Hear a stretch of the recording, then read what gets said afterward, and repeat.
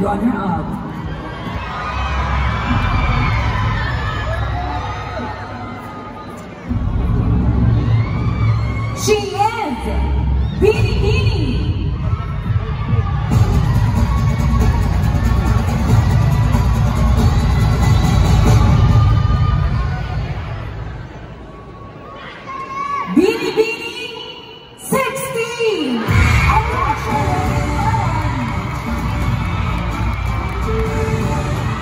Awarding our second runner-up is Binibining Pilipinas 2022 second runner-up, Stacey Gabriel.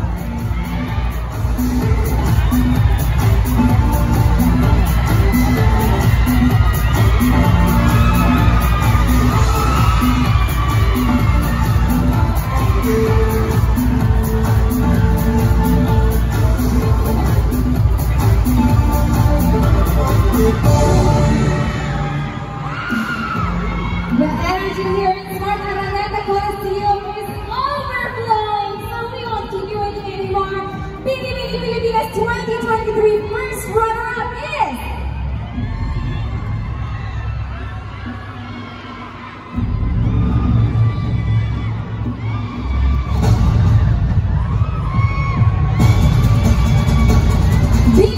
number 33, Katrina Johnson.